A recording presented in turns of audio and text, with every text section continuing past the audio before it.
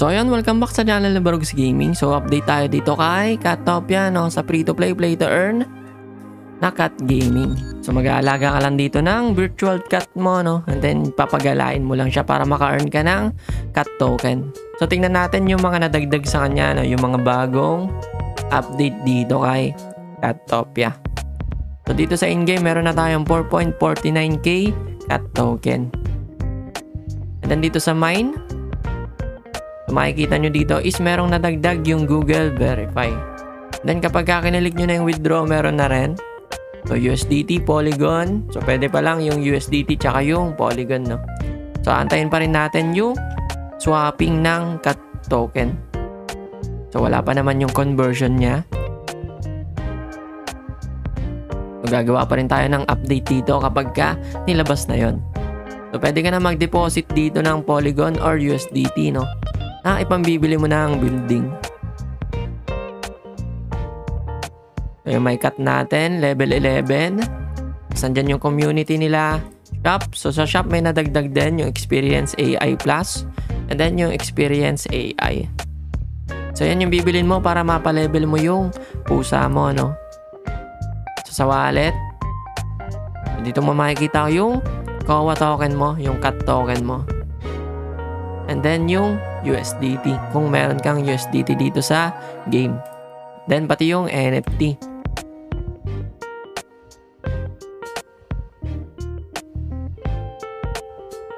Tapos kapag ka i-verify mo lang, so ganito lang yung gagawin mo, yung authenticator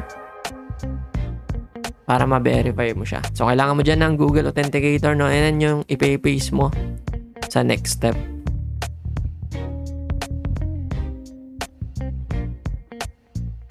Tapos iba na rin pala yung pinaka-location ng pusa, no? So nagbago na yung pinaka-bahay niya, medyo lumaki na. So kung mapapansin nyo. So dati ito lang yung bahay lang, tapos itong mail. Tapos itong duyan. So nandyan pa rin yung club, memories, and then yung visit. So bibisitahin mo yung ibang friends mo na pusa. Yung ibang players. Then makaka-earn ka rin doon ng KOA token, ng cat token. And then nandyan pa rin yung rules, invite, and then yung item bag. So, meron tayo sa item bag yung prop intro, no? yung iron ingot. So, di pa natin alam kung saan gagamitin yan. Baka pang-upgrade din ng pusa yan, no? Tapos, ito yung nadagdag sa kanila, yung claim. So, meron silang blind box lucky draw dyan. So, meron silang 3 round. So, yung time niya, so matatapos yung event ng 5 hours and 20 minutes.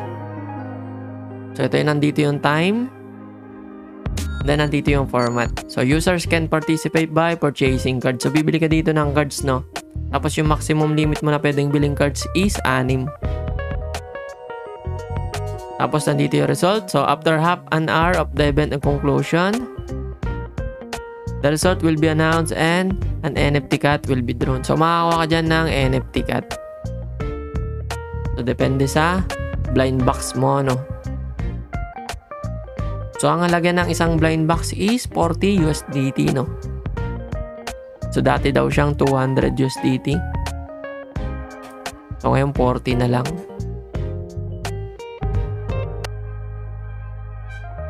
Tapos, meron dito yung bagong building. Ito. Yung Lucky Fish. So, kapag in-activate mo daw dyan is kailangan mo ng 40 USDT. So, increase outdoor earnings by 39% daw siya. Kapag na-open mo to.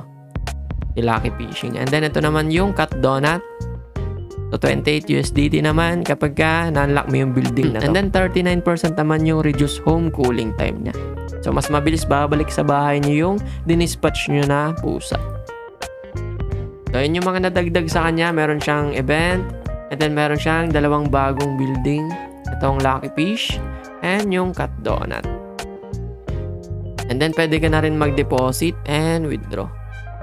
Ng USDT lang, no? Tsaka Polygon. So, wala pa yung swapping and conversion ng KOA token.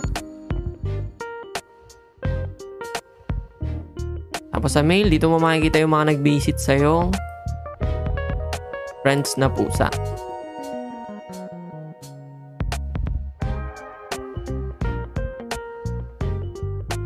So ayun yung quick update ko sa inyo dito kay Katopia, no? So, antayin pa rin naman natin yung conversion ng COA token. Then, gagawa tayo ng update dyan para lagi tayong updated dito sa game na to. So, sa mga hindi pa nakakapag-try nitong Catopia, no? So, nandyan sa description natin and sa pin comment yung link niya. Then, click nyo na lang para madali kayo makapag-create ng account. So, free-to-play lang naman to, no? So, kung mag invest naman kayo, kung bibili naman kayo ng mga building na yan, or bibili kayo ng NFT na yan, so do your own research muna, no? Sa mga ganitong game and application. And invest nyo lang yung mga pera ang kaya nyong mawala. So, invest at your own risk and do your own research. So ayan, kita-kits tayo dito sa game. Kung gusto nyo i-drop yung owner's ID nyo dyan sa baba sa comment section natin. Bibisitahin natin yan para mag-earn kayo ng COA token. So ayan, good luck sa inyo guys and see you in the next video.